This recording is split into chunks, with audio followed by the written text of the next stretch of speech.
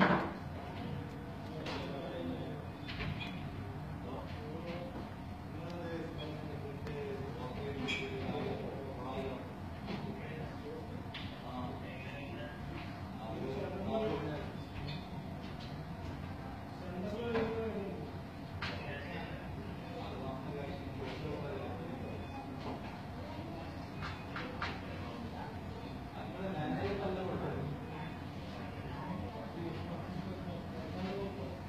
Thank you.